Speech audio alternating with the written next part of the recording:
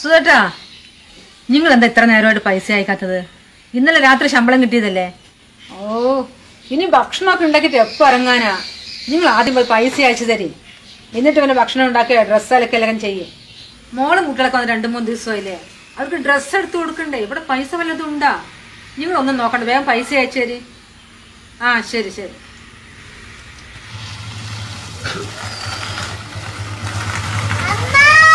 ആ വന്നോ അമ്മ നാളെ എന്റെ കോളേജിൽ ചെറിയൊരു പരിപാടി ഉണ്ട് അഞ്ചായിരം രൂപ വേണം. അമ്മയുടെ അടുത്ത് പൈസ ഉണ്ടോ? എന്റെ അടുത്ത് പൈസ എവിടെന്നാ? ഇത്ര നേരം നിന്റെ അച്ഛൻ പൈസ അയച്ചിട്ടില്ല. അച്ഛൻ എന്ത് കളിക്കാമേ ഇന്നലെ രാത്രി സാലറി വന്നല്ലേ? എന്നിട്ട് ഇതുവരെ ആയിട്ടില്ല എന്തൊരു മനുഷ്യനാ അത്?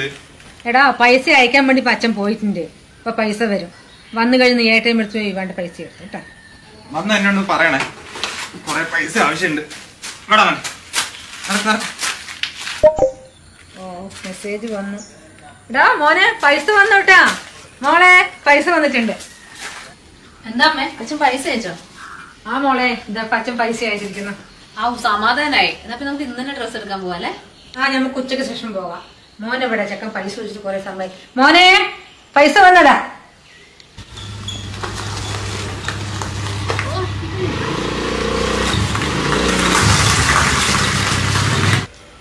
ഈ സെക്കൻഡ് ഇവിടെ തന്നെ വണ്ടി വെക്കാൻ കണ്ടുള്ളൂ ഈ പാട്ട് വണ്ടി കൊണ്ടുപോയി പിള്ളേരൊക്കെ എന്നെ കളിയാക്കാൻ തുടങ്ങി പുതിയ വണ്ടി വാങ്ങിച്ചു തരാൻ പറഞ്ഞാലും കേൾക്കൂല.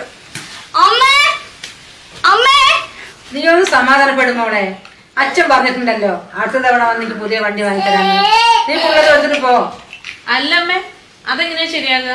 അച്ഛൻ അടുത്ത പ്രാവശ്യം വരുമ്പോ എനിക്ക് ഐഫോൺ വാങ്ങിത്തരാന്നല്ലേ പറഞ്ഞേ. പിന്നെ എങ്ങനെ അമ്മ ഇവിടെ വണ്ടിന്റെ കാര്യം പറയുന്നു. അല്ല ചേച്ചി നിനക്ക് കഴിഞ്ഞ തവണ വരുമ്പോഴല്ലേ അച്ഛൻ ഐഫോൺ വാങ്ങിച്ചു തന്നത് ഇതിന്റെ എല്ലാ വർഷവും വരുമ്പോൾ ഐഫോണാ എടി അത് എനിക്കല്ല ഏട്ടന് വാങ്ങിയതാ. അത് ഏട്ടൻ കൊണ്ടുപോയി. ഇപ്രാവശ്യം വരുമ്പോഴേ എനിക്ക് വാങ്ങി തരാന്ന് പറഞ്ഞേ. അമ്മേ അച്ഛൻ ഈ പ്രാവശ്യം വന്നാലേ എന്റെ പഴയ ബൈക്ക് മാറ്റി ഡ്യൂക്ക് മേടിച്ചു തരാറുണ്ട്. ഇവന്റെ ഇടയിൽ കൂടെ അത് മാത്രം മറക്കരുത്. ഓ നിങ്ങളൊക്കെ സമാധാനപ്പെട്. അച്ഛൻ വരട്ടെ എല്ലാവർക്കും വാങ്ങിച്ചു തരാൻ പറയാ. ഓ ഇനി ഇതും പറഞ്ഞ എല്ലാരും കൂടി സമയം കളയണ്ട. നമ്മളിന്ന് ഡ്രസ് എടുക്കാൻ പോവാന്ന് പറഞ്ഞല്ലേ? ആദ്യം അത് നടക്കട്ടെ. ആ എന്നാ ഏട്ടാ നമുക്ക് വരുമ്പോ ഒരു സ്വിമ്മിങ് കണ്ടല്ലോ. ആ എന്നാ പിന്നെ പോവാലേ എങ്ങനെ പോടി ഒരു ബൈക്ക് ഞാൻ എടുക്കാം. ഒന്ന് നീ എടുക്കില്ലേ? പിന്നെ ബൈക്കിലൊന്നും പോകാനാകില്ല. എന്റെ രണ്ട് മക്കളെയും കൊണ്ട് ഞാൻ ബൈക്കിലേ വരാം. നീ ടാക്സി വിളിയടാ. റഫീഖിന്റെ ടാക്സി വിളി. മുപ്പനാണെങ്കിൽ അധികം പൈസയും വാങ്ങൂല. ആ എന്നാ ഞാൻ റഫീഖിന്റെ ടാക്സി വിളിക്കാം. സ്ഥിരം വരുന്ന ആളല്ലേ. എന്നാ പിന്നെ വൈകിക്കണ്ട. നിങ്ങൾ മാറ്റി ഞാൻ വിളിക്കട്ടെ. ആ പിന്നെ അടുത്ത ആഴ്ച അനിയത്തിന്റെ ഭർത്താവിന്റെ ഏട്ടന്റെ പുറകെ കൂടുതലല്ലേ ഒരു പത്തായിരം റുപ്യ നമ്മൾ കൊടുക്കണ്ടേ? നിങ്ങൾ എവിടെന്നെങ്കിലും വാങ്ങിച്ച് അയച്ചു തരുമോ നിങ്ങൾ എന്തേ പറയുന്നത്? കഴിഞ്ഞ മാസം അയച്ച പൈസ കഴിഞ്ഞ സുഖട്ടാ പിന്നെ മോളും കുട്ടികളൊക്കെ വന്നതല്ലേ? ആ പിള്ളേരൊക്കെ സുഖമായി അവിടെ ഇരിക്കുന്നു. നിങ്ങൾ എന്തെങ്കിലും ചെയ്ത് പൈസ അയച്ചു തരും. ആ ശരി എന്നാ.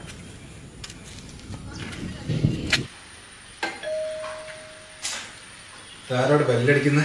കളിയാണെന്ന്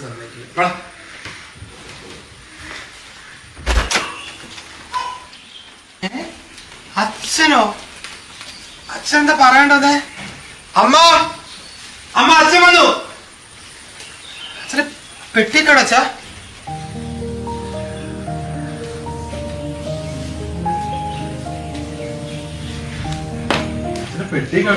വലുതോ എന്താണ് കിടന്ന് ഒച്ചയിടുന്നത്?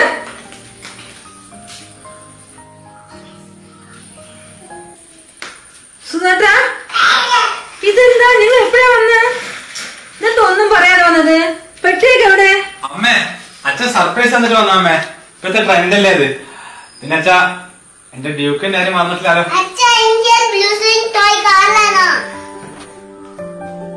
ഓ ഇത് വല്ലാത്തൊരു സർപ്രൈസ് ആയി സുധേട്ടാ മനുഷ്യൻ പേടിച്ചു പോയി.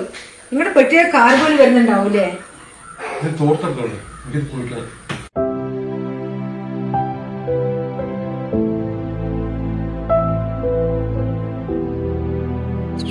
സുധേട്ടാ നിങ്ങളിപ്പോ എന്താ തീരുമാനിച്ചിരിക്കുന്നത്? ഇന്ന് ശരിക്കും നിങ്ങൾ തിരിച്ചു പോകുന്നില്ല? നിന്നോട് പറഞ്ഞല്ലോ ഞാൻ മനസ്സേ ഞങ്ങൾ കുറെ ആൾക്കാർ കമ്പനി പിരിച്ചുവിട്ടതാ. ഇനിയിപ്പോ എവിടെ പോകാന്? എന്റെ സുധാട്ടാ നിങ്ങൾ പത്തിരുപത് കൊല്ലമായില്ലേ ഗൾഫിൽ?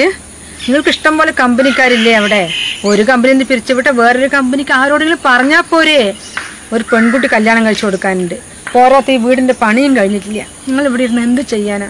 അല്ലടി ഞാനയച്ച പൈസക്ക് നീ എന്ത് ചെയ്താ വീടിന്റെ പണി പൈതി പണി അവിടെ ഇട്ട്.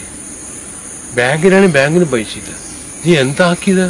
നിങ്ങൾ എന്തായി പറയുന്നത്? കുടുംബത്തിലേക്ക് പൈസ അയച്ചാൽ കണക്ക് പറയുക? ഇരുപത് കൊല്ലം മുൻപുള്ള ചെലവല്ല ഇപ്പോ? സാധനങ്ങൾക്കൊക്കെ നല്ല വിലയാ ഇപ്പോ.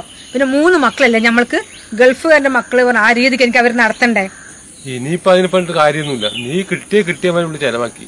ഇനിയുള്ള കാൽ ഞാൻ വാർപ്പിന്റെ പണിയും ചെയ്ത് നാട്ടിൽ തന്നെ നിൽക്കാൻ പോകും അച്ഛൻ എന്താ ചേച്ചി പറയണേ? അച്ഛൻ വാർപ്പിന്റെ പണിക്ക് പോയാൽ എന്റെ ഭർത്താവിന്റെ വീട്ടുകാരോട് എന്താ പറയാ? അച്ഛൻ ഈ പണിക്ക് പോകണേ ഞാൻ നാളെ തൊട്ട് കോളേജിൽ പോയില്ല ഇവിടെ അറിയാവുന്നവരൊക്കെ എന്റെ കോളേജിലാണ് പഠിക്കണേ. അവരുടെ മുന്നിൽ ഞാൻ നാണം കെടുകയുള്ളൂ. എന്റെ അച്ഛൻ നാട്ടിൽ നിന്നിട്ടും ജീവിക്കാമല്ല. പറ്റില്ല അച്ഛൻ തിരിച്ചു പോവാൻ നോക്കിയേ. കേട്ടില്ലേ മക്കളൊക്കെ പറയുന്നത്? ഞങ്ങൾ പറയാനുള്ളതൊക്കെ പറഞ്ഞു. ഇനി ഞങ്ങളെ സന്തോഷം കളയാൻ വേണ്ടി നിങ്ങൾ നാട്ടിൽ നിൽക്കാണ് നിന്നോളെ. വാട മക്കളെ നമുക്ക് പോകും. എന്താ പറയാ? ഇവർക്ക് ഞാനല്ല വേണ്ടത്. എന്റെ പൈസയാ വേണ്ടത്. അച്ഛാ അവിടെ എത്തിയതും എന്റെ ബൈക്കിന്റെ പൈസ അയച്ചു തരണേ. അച്ഛൻ എന്റെ വണ്ടി മറക്കല്ലേ? അച്ഛന്റെ ഐഫോൺ മറക്കല്ലേ? നിൽക്കും മക്കളെ അച്ഛൻ ആദ്യം അവിടെ എത്തട്ടെ. എല്ലാം നിങ്ങൾക്ക് അയച്ചു തരും. സുധാട്ടാ അയക്കുമ്പോഴേ ആ ടോർച്ച് കൂടി അയച്ചു വിടണേ. അല്ല നിങ്ങളൊക്കെ എന്താ കരുതിയത്? ഞാൻ തിരിച്ച് ഗൾഫിൽ പോവാണെന്ന്. അപ്പൊ നിങ്ങൾ എങ്ങോട്ടൊക്കെ പോകുന്നത്? ഇത്രയും കാലം ഞാൻ നിങ്ങൾക്ക് വേണ്ടി ജീവിച്ചില്ലേ? ഇനി കുറച്ച് എനിക്ക് വേണ്ടി ജീവിക്കട്ടെ. തിരിഞ്ഞു വരുമ്പോഴേ എനിക്ക് കുറച്ച് പൈസ കിട്ടിയിട്ടുണ്ട്. അത് ഞാൻ അവിടെ നിന്ന് എന്റെ പേർക്ക് ബാങ്കിൽ ഇട്ടിട്ടുണ്ട്. ഇപ്പൊ ഞാനും എന്റെ കൂട്ടുകാരും കൂടി കാശ്മീരിൽ ഒരു ട്രിപ്പ് പോവുക ഞാൻ എന്തായാലും ഒരു മാസം കണ്ട ഇനിയിപ്പോ ഇങ്ങോട്ട് വരും എടാ നിന്റെ പഠിപ്പ് കഴിഞ്ഞല്ലേ? നീ നാളെ മുതൽ പണിക്ക് പോവുക നിന്നെ കല്യാണം കഴിച്ചു വിട്ടല്ലേ? നീ കുറച്ചു കാലം ഭർത്താവിന്റെ വീട്ടിൽ പോയിരുന്നു ഇത് എന്റെ വീടാണ്. എന്നെ അനുസരിച്ച് ഇരിക്കാൻ പറ്റുന്നവർക്ക് മാത്രം ഇവിടെ പ്രവാസികളുടെ പൈസ ദൂർത്തടിക്കുന്ന ഒരുപാട് കുടുംബങ്ങൾ നമുക്കിടയിലുണ്ട്.